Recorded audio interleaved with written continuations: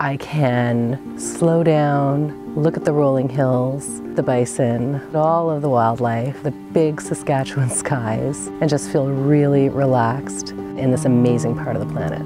My name is Risa Horowitz. I'm a visual and media artist and professor at the University of Regina. I first became involved with astrophotography because I saw Saturn through a telescope and it blew my mind. Something special happens when you can take a longer exposure, you can see more.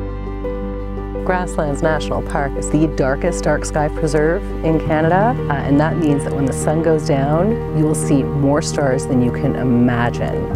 No matter how many amazing photographs of the night sky are, are available, just sitting out here, lying with your eyes up, uh, is unsurpassable. You have to be here to experience it. Day or night, no matter what the quality of light is, it's an amazing place to do photography.